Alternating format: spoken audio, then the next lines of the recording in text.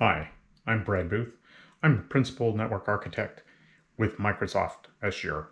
I'm also the President of the Consortium for Onboard Optics, also known as COBO. Here to talk to you today about optics. We are obviously seeing a massive change in how we look at using optics in our data centers going forward. If you take a look at how our data centers are built today, you will see that our network infrastructure is actually bifurcated. We have a very large portion of connectivity that is actually electrical. Even though we use active optical cables, the connection for them are actually electrical. We don't have any exposed optical connectors on those connections. So really it doesn't look radically different for that AOC than it does for our DACs. And the direct attached copper cables and the AOC's active optical cables are the largest volume deployment connectivity that we have in our data centers. It isn't really until we leave the rows or our clusters that we actually start using optics. Now, in the case of Microsoft, we use a lot of parallel single mode fiber. 100 gig parallel single mode fiber. Eventually, we will move towards 400 gig DR4.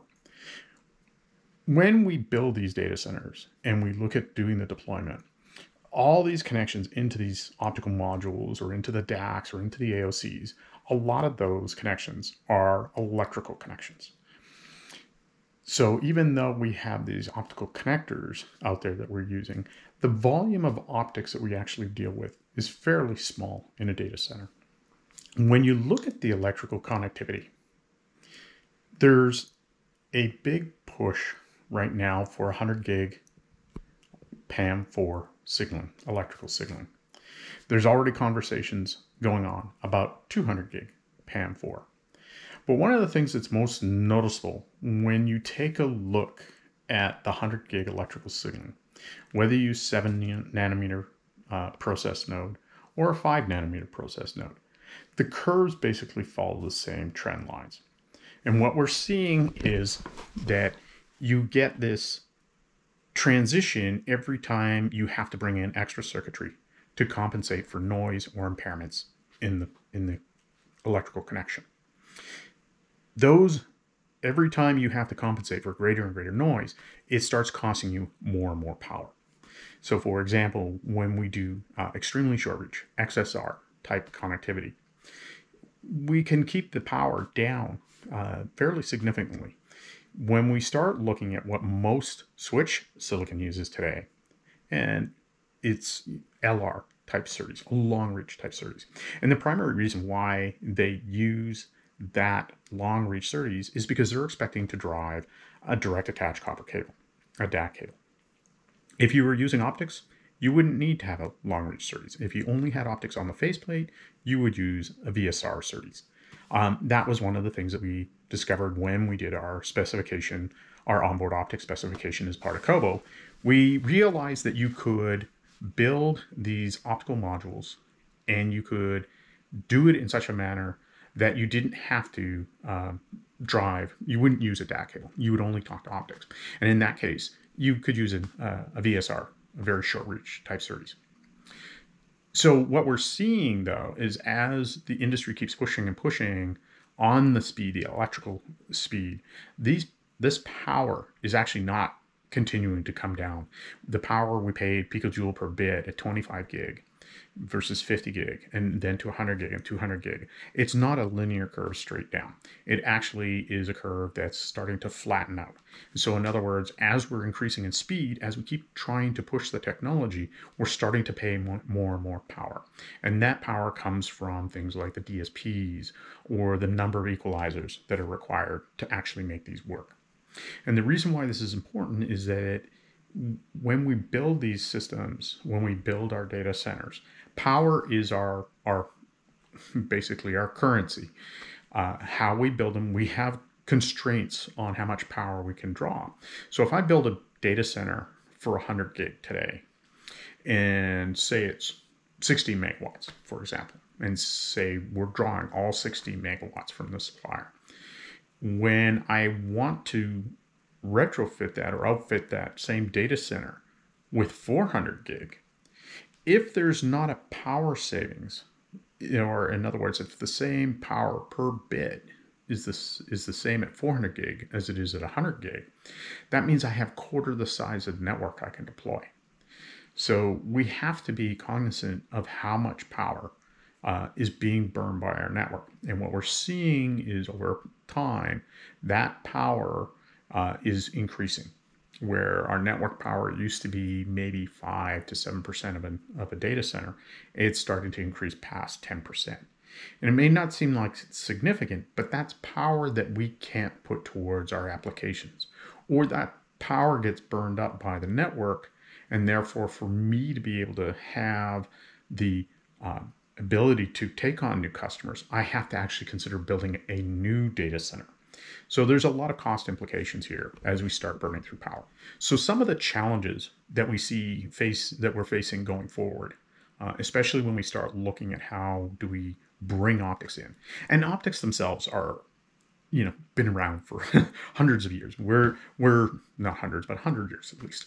Uh, what we're seeing though is optics has this mentality of total cost of ownership.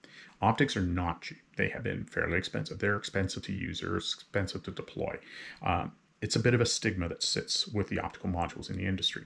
And so we have to figure out how does that work within our systems? You know, how do we make sure that we can balance this out so that it becomes uh, a easy enough transition while keeping the total cost in control. The other aspect of this that we're finding with optics is, especially when we want to look at how do we drive tighter and tighter integration, uh, is the manufacturing. So, for example, today, it's well understood that when you buy an optical module, you buy that from one vendor. That comes as a single component. You take that and you plug it into a switch that you bought from another vendor. Now, sometimes there's vertical stacking. Sometimes the vendors that build the switches also build optical modules. That's fine. But you have this capability of exchanging those parts, and that's well understood in our industry today. The other aspect that kind of gets in there is when we look at it is trying to drive change. Um, and optics themselves are fairly easy to build, uh, fairly easy to understand and manufacture, and you know we are creating new things and new technology all the time. But the real hard part is to get people over the mindset, the hurdle of, I'm going to put optics in. Because optics are not perceived also to be nearly as reliable as a passive direct attached copper cable. So we have to deal with that as we progress forward. So, what we can see when we start looking at total cost of ownership, you can actually tell when you do the cost comparison. DAC is quite affordable. You know, that, that being our baseline, our AOCs are about four times the cost of a DAC. When I go to optics, that jumps up to 16x.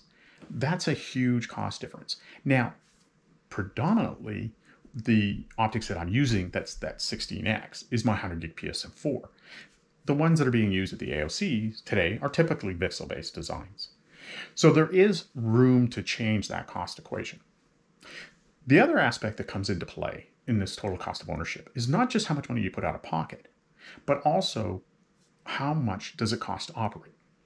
And one of the trends that we're starting to see is if I am building my optical modules in the same way that I build a DAC, in other words, I plug it into the faceplate, I'm going to always be paying that power penalty because if I am using DACs on that same switch port, I have to be able to power it. That's how we think of it in the industry.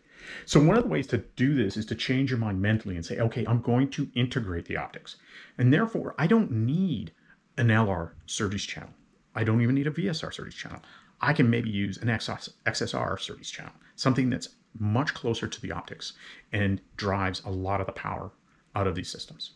And that's actually one of the things that we've noticed is that if you look at sort of the Gen 1 timeframe, we're seeing that power almost half of what we use today for pluggables. And Gen 2 even drops that even further. All of this means, though, that when we take a look at total cost of ownership, it's not an easy assessment to do because some of this is based upon implementation design, some of this is based on future looking technologies. Uh, some of the things change as, as we manufacture and design and build these systems. The other thing that gets interesting when we look at the manufacturing is who does what. when I look at an integration, like I said, you have a module that sits on a faceplate that you plug into a switch. Switch has an ASIC inside and, and all fairly easy to understand.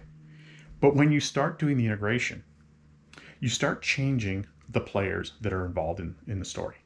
So where before you may have bought an optical module from an optical module vendor and you may have bought a switch from a switch vendor, now you're looking at it from the point of view of who built the ASIC, who built that optical engine, who's putting that whole thing together. How do I make sure it's manufacturable? How do I make sure it's reliable? How do I handle yield problems?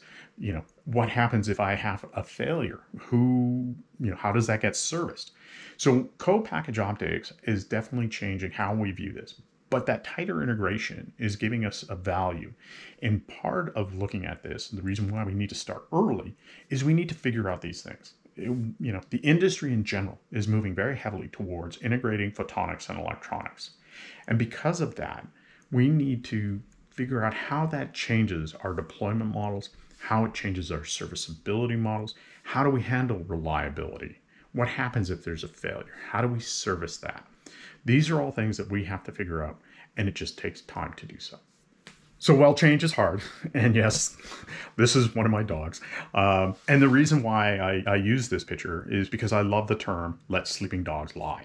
And, and it's true, it's very easy for data center operators and others in the industry to continue down the same path we've had for forever, for quite a long time now. And that it makes it hard to mentally bring yourself to say, hey, I'm going to bring out something that's going to change things. I am going to have to change how you service things and all this other stuff. I'm going to potentially impact how we look at reliability. Those, when you start bringing those things in front of IT professionals or data center operators, you immediately get a lot of apprehension. It's like, oh my goodness, you're not going to break anything, are you? And that is the harder problem to answer for a lot of us. We don't really know. Our goal, of course, is to offer better reliability, better manufacturability, better cost models than what we do today. But that change takes time and change is hard. And so it's much easier to sit there and continue to do the things that waste power, that cause us to deal with thermal environments that are quite honestly pretty insane. Uh, you know, if you look at a switch right now at 400 gig, if you've got 15 watts on a module and you populate 32 of them across the faceplate, you're dealing with a significant amount of power right there. And when you look towards 800 gig and 1.6 terabit, do you honestly think that we're going to be able to handle that type of thermal load with faceplate pluggable optics. We know we're, we're going to have to figure out new ways of doing this. And yes, we can bring in new ways of cooling, uh, you know, do immersion technologies, whatever. But we still need to solve that problem because the reason why we're creating that heat is because we're burning power for no good reason. The other aspect is, is we don't know what we don't know. So there's a lot of questions still going on. What will this look like? What happens when we start integrating optics and electronics? This whole photonic electronic integration, what does that what does that mean? When does that happen? Um, and that's where the standards bodies are trying to do some work. And there's a lot of companies in the industry that are investing time and investing money. Uh, you can even look towards, you know, the U.S. Department of Defense and the DARPA project, the pipes project. There's a lot of work going on to figure out this this problem. How do we solve it? One, scope out the problem. Two, figure out how we can solve it and, and manufacture it. And I, it's nice to see that we as an industry are progressing on this. We understand that this pain point exists and that it's going to happen. And that is a lot of where the things that are occurring in this industry is happening now. So while optics, as I said, are easy, the change is hard. And that change will take time. So, well, we may be able to create these solutions uh, to have them manufactured in volume and deployed in volume is going to take time. But that's where we as an industry have to be patient because we know that this is the right thing to do, that we have to save power, we have to do better designs and we have to be smarter in how we build these. Thank you.